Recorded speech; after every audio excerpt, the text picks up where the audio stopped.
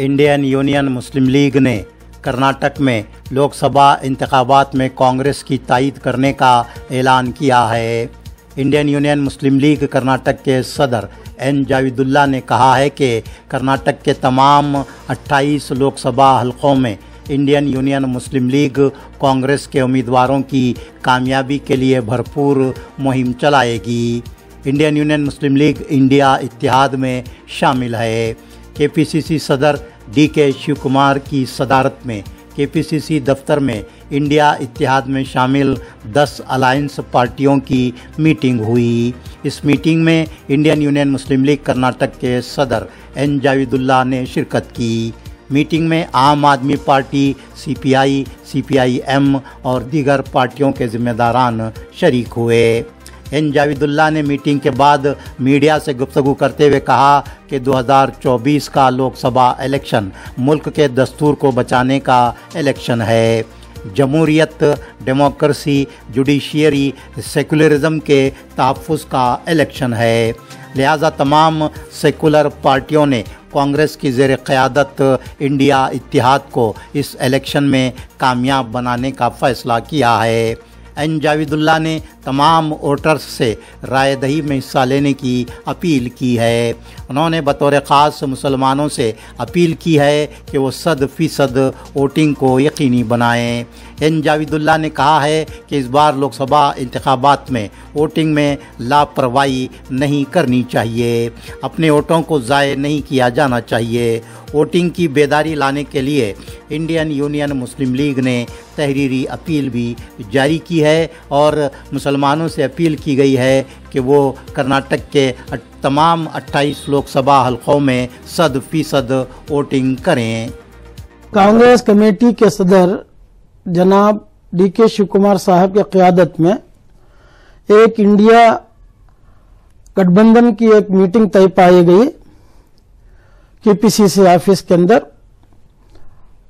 भारत जोड़ो यात्रा का जो कॉन्फ्रेंस है, उस कॉन्फ्रेंस में वो मीटिंग मुनद हुई थी।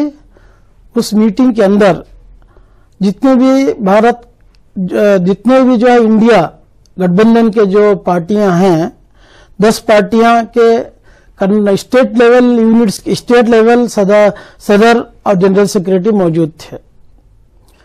तो वहाँ पे ये तय पाया गया कि आने वाले पार्लियामेंट इलेक्शन के अंदर सब पार्टियाँ सेकुलर पार्टियाँ मिलकर जो एनडीए गवर्नमेंट को कैसा हराना है और हमारे वोट किधर भी बटना नहीं है, करके पूरी पार्टियाँ भी तय पाए गए और खासकर और हम लोग, खासकर इंडियन यूनियन मुस्लिम लीग मेरे तरफ़ से जो राय मैं पेश किया था कि एक कोर कमेटी बना दिया जाए इस पार्लियामेंट इलेक्शन हुए तक, वो डिस्ट्रिक्ट वाइज कोर कमेटी, उसके अंदर जो है, हम दस पार्टियाँ, इंडियन यूनियन, मुस्लिम लीग भी रहेगी, एसपी और आम आदमी पार्टी, सीपीएम, सीपीआई और और भी इंडिया गठबंधन के पार्टियाँ मौजूद रहेंगे और सब मिलकर जो है, काम करेंगे ताकि सेकुलर गवर्नमेंट कायम हो।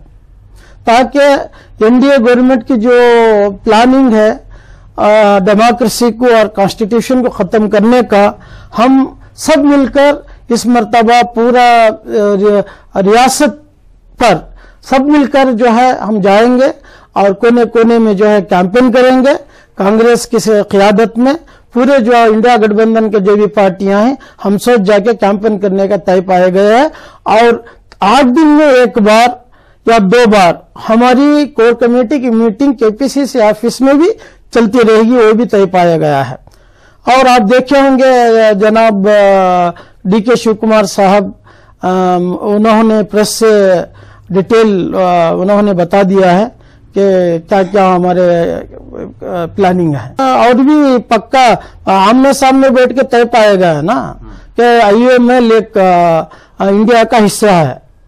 इंडिया गठबंधन का एक हिस्सा है और वो बाकायदा पार्लियामेंट इलेक्शन में जो है कांग्रेस के साथ कैंपेन करेगी, पार्टिसिपेट करेगी करेगी और यहाँ तक हम देखेंगे कि जो है सेक्युलर जितने भी हमारे 28 सीट हैं कांग्रेस के 28 सीट को भी हम लोग जिता के लेकर आने का हम लोग मुजम्मम इरादा कर चुके हैं। अनकंडीशनल है, शर्त कोई नहीं है, क्योंकि ताकि हमारा सबसे पहला पूरा हमारा इंडिया का गठबंधन का एक ही मकसद है कि जो है हमारी इंडिया इंडिया के अंदर जो है एक सेक्युलर हुकूमत बने, ताकि हमारा डेमोक्रेसी और कॉन्स्टिट्यूशन बाकी रहे। इसके लिए हमारी कोशिश है।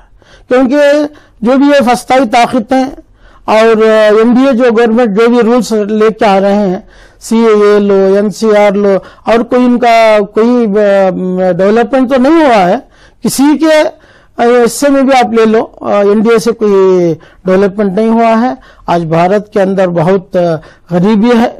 गरीबी और लोगों के पास काम नहीं है और कोई भी प्रोजेक्ट उनके जो है इकोनॉमिकली और सोशली पोलिटिकली तीन में भी वो लोग फेल हो चुके हैं। और इसीलिए इस मरतबा इंडिया गठबंधन के जो भी है, हमारे स्टेट लेवल के हम जो है, जो जो भी स्टेट लेवल यूनिटी हैं हमारे, कर्नाटक स्टेट कमिटीज के कमेटी हैं, सब लोग मिलकर, हम परसों मिलकर जो है वो तय कर चुके हैं।